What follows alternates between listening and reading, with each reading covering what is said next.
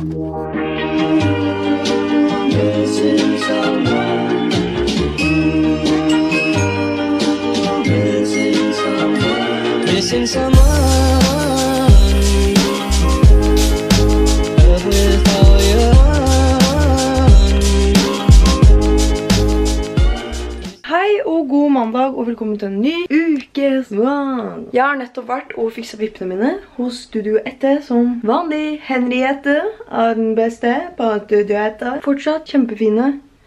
Jeg vet at det er mange som synes at jeg har for mye vipper, men jeg liker det, og det er det som teller for meg. Det jeg liker er det som teller. Så yes. Klokka er i hvert fall halv to, og nå skal jeg begynne å redigere litt etter at jeg har sett ferdig episoden av Unbelievable. Jeg tror det er den heter. Så skal jeg komme meg i gang. Heng med. Oi, oi. Nå blåser jo satans mye ut. Ah, Ser dere det? Det er løv overalt. Ah.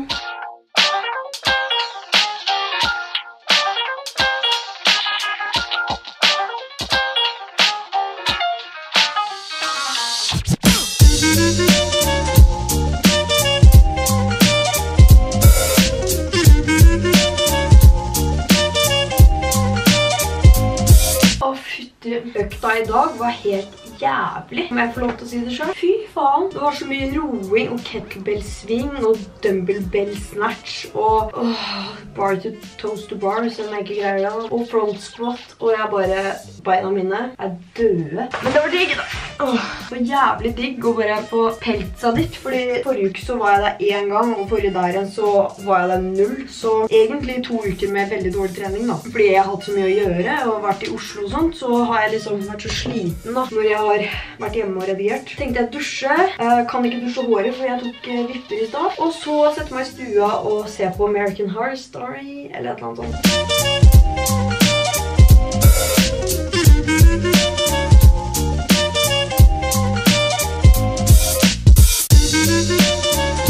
Men nå sitter jeg her i ullstillongsen, fordi det er dritkaldt. Altså, det er tre grader ute i dag. What? Men nå hadde jeg tenkt til å vise dere to klokker i samarbeid med Daniel Wellington. Så som mange av dere vet, så har jeg samarbeidet med Daniel Wellington opp til flere ganger før, og jeg er veldig fornøyd med samarbeidet. Det er derfor jeg gjør det, fordi jeg er fornøyd med det, og de eneste klokkene jeg bruker er fra Daniel Wellington, fordi jeg har ikke noen andre klokker uansett. Så jeg tenkte å vise dere to nye klokker som er Iconic Link. Det er disse to, og jeg tenkte egentlig å ha en unboxing med dere nå, fordi jeg har ikke åpnet det enda. Så det kommer en sånn fin eske, og sånn ser den her ut. Den er sånn gull med svart, svart eh, inni. Den andre er sølv med hvit inni. Her er disse to, og jeg synes de er så fine. Altså egentlig alle klokkene fra denne Wellington er fine. Det var den første klokka jeg fikk i hele mitt liv, tror jeg, som var ordentlig klokke, uten sånn barneklokker, var fra Daniel Wellington. Jeg er ikke en som går mye med klokker, men hvis jeg skal pynte meg litt, ja, jeg vet ikke, de her er liksom classy. Så, sånn her, sånn her ser den ut på. Dette er unisex klokker, som betyr at det er for både gutter og jenter. De kommer i forskjellige størrelser, og jeg tror det er fire forskjellige design. Og hvis dere bruker koden min, Olsen, med store bokstaver, så får dere 15% av på hele denne Wellington. Hvor kult er ikke det? Jo, jettekul. Og hvis dere sjekker link i infoboksen, så kommer dere også direkte inn på link til disse her klokkene, og på Daniel Wellington sin side. So don't miss out. Hei, god tirsdag! Nå har jeg nettopp vært på butikken og kjøpt litt dagligvarer fordi jeg hadde veldig lyst til å lage meg pannekaker til frokost sånne med banan og sånn. Så jeg kan vise hva jeg har kjøpt hvis det er interessant. Og jeg handler alltid når jeg husker det i et handlenett. Jeg har kjøpt to bananer, rugsbrød, rugs, rugsbrød, en karmex, den billigste osten jeg vinner, ketchup, et utrolig grovt og deilig brød, egg, selv om ikke jeg tåler det, men jeg kan bruke det i mat, så melk, iste. Og så var det tilbud på restaurantet sine pizzaer, så da kjøpte jeg en pizza. Så det er ikke plass inni her. Nå skal jeg bare rydde det inn, kjøleskapet og sånt, og så skal vi begynne å lage paddekakene, fordi klokka er allerede ett, og jeg har ikke spist frokost ennå. I belong, I belong to you. I belong, I belong to you. Do just what you want.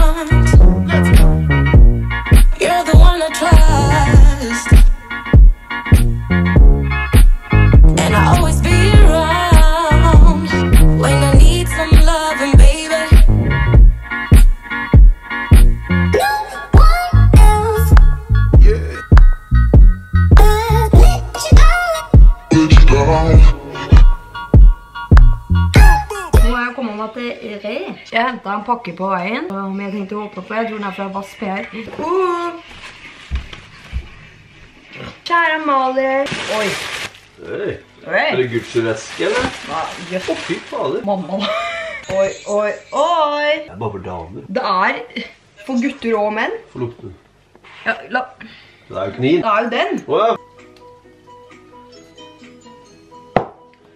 Må Sånn, sånn tester vi. Fine YouTube-musikk i bakgrunnen. Det lukter godt. Det vet ikke jeg, for den fikk ikke jeg lukte på ennå. Lukter ikke gærent, da. Lukter ikke så mye. Og parfymen ser sånn ut. Og den er fra Gucci. Gucci Gang. Kan du lukte, eller?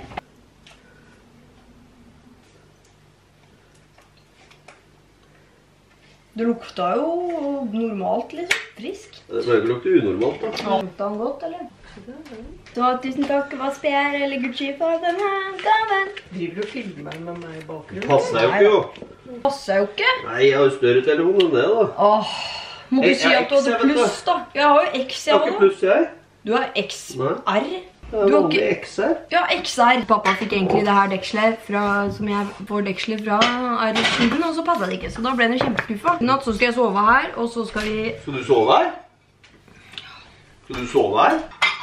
Mellom mamma og pappa? Nei. Og i morgen skal vi filme videre på den hemmelige serien, som jeg ikke sier hva er for noe. I kveld så skal jeg redigere litt. Ok, først må jeg bare si at de krøllene her, de kommer av at jeg, etter jeg dusja, eller etter jeg har fønet håret, så tar jeg alt håret i en lav sånn dott, snurrer håret sammen, tar det ut, og sånn ser det ut. Fint. Ja. Nå så skal jeg på, eller ja, vi skal, vi skal grille i gapauken med venninnene mine fra Re. Så jeg vet ikke helt om jeg tar med meg kamera på det. Og det som er så flott med å ha vært med på denne campset igjen, er at jeg har fått masse turklær. Så nå har jeg en sånn Helly Hansen regnbukseting. Så takk for at jeg var med. Fikk masse gratis klær. Eh, Så Ingrid henter meg nå, så skal vi dra opp til Revetal, og så let's see.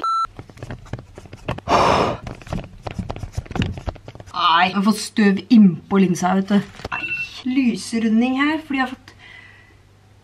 hvordan fikser jeg det, ja? Jeg må beklage for å ha vært verdens verste ukesvlogger denne uka her. Altså, jeg trodde forrige uke var helt jævlig, men eh, i går så filmet jeg jo ikke et skit. Er det mulig, liksom? Ja, det er jo tydeligvis det.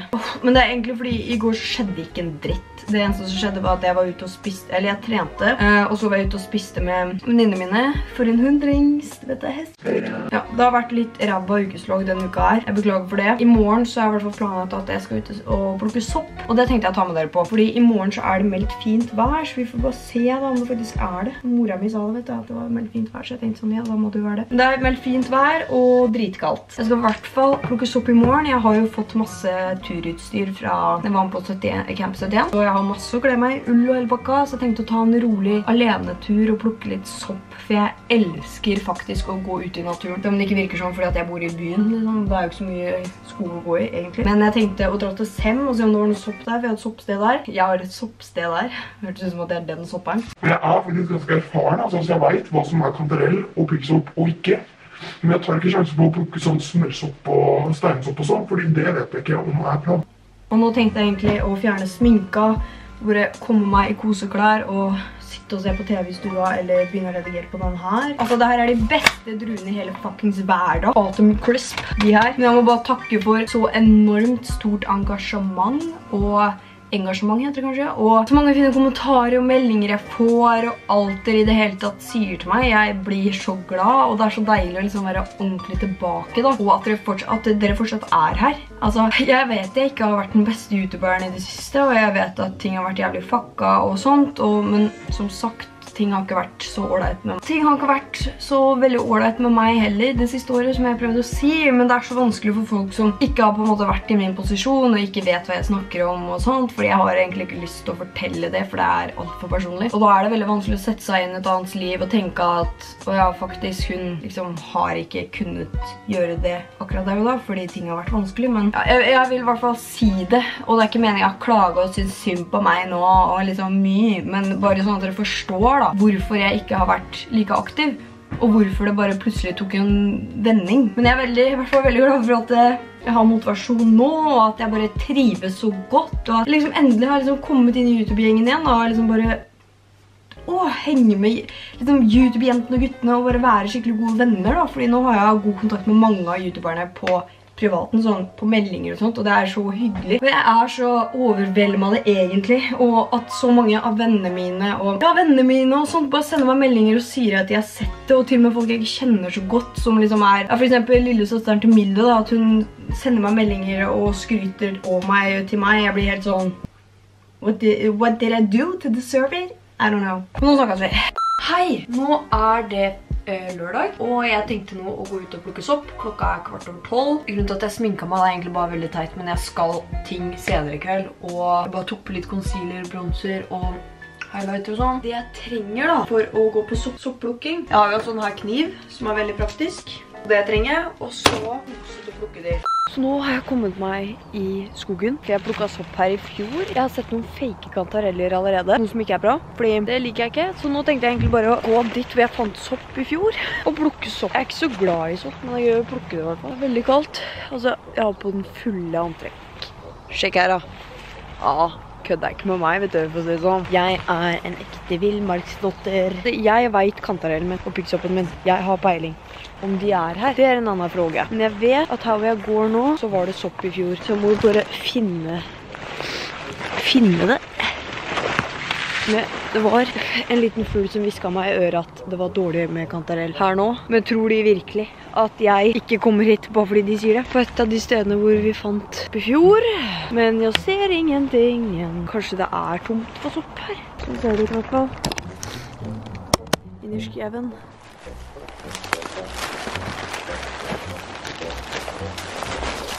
Og så har vi fant jo masse kantarell her i fjor. Akkurat her, liksom. Hvor er det? Her fant vi masse kantarell i fjor. Så jeg oppdaterer dere hvis jeg finner noe. Se, nå fant jeg noe som ligner på kantarell. Men dette her er faen ikke kantarell, det skal jeg love deg. Ja, nå har jeg gått i evigheter, vet du. I evigheter, jeg har ikke funnet ut en skit. Uh, men nå, jeg vet jo liksom hvordan kantareller vokser. That's a secret I never tell. Det er liksom ved når det er mye gran og sånne ting, og tett skog, og, og bekker. Her er det bekk. Men jeg fant piggsopp, og altså, det er så lite av den.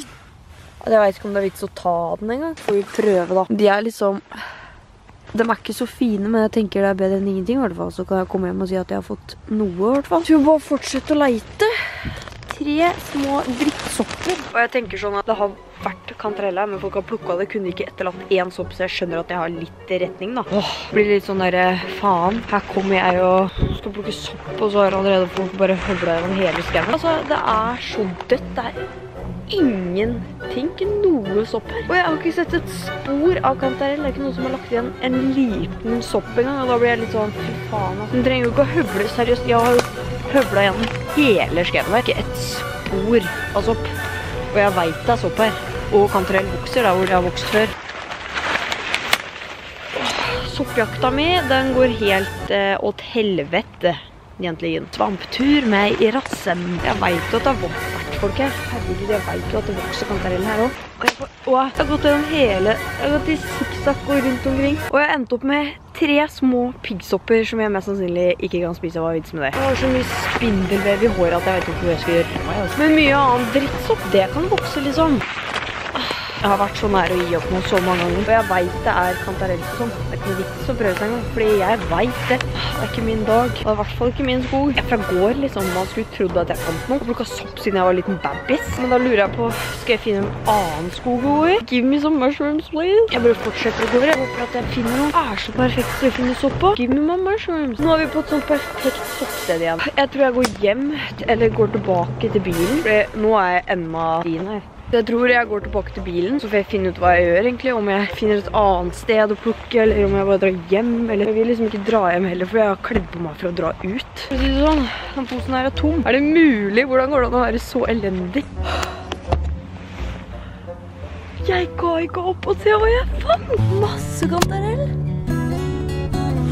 Her, og så på den gærningen her.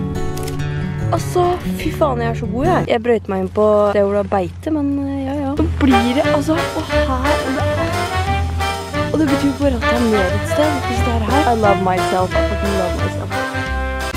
Konklusjon, denne soppturen gikk jævlig dritt. Altså, jeg hadde gledet meg. Jeg visste at her var det sopp, men lite visste jeg om at noen hadde stjert all soppen. Folk hadde, har allerede vært her, det er fair, men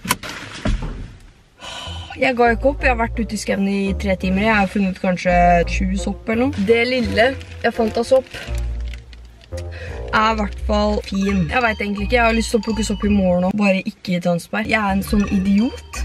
Jeg går rundt og later som at jeg skal få noe. jeg. Nei da. Sikkert jævlig mye edderkopper i håret mitt og sånn. Men konklusjon, kon konklusjon, konklusjon. En jævlig dårlig soppdag for meg. Nå skal jeg nok hjem, sikkert, eller et eller annet. Hvis ikke jeg finner et annet sted å gå tur. Leve livet. Altså, jeg ble nesten litt lei meg jeg nå, for jeg trodde det gikk rett oppover etter jeg fant de fine kantarellene, men det gikk jo bare akkurat likt som det hadde gått hele tida. Er det noe rart jeg er lei meg?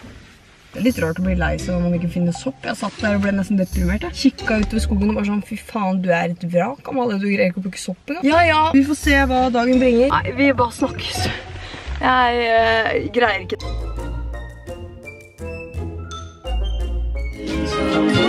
Missing someone Love with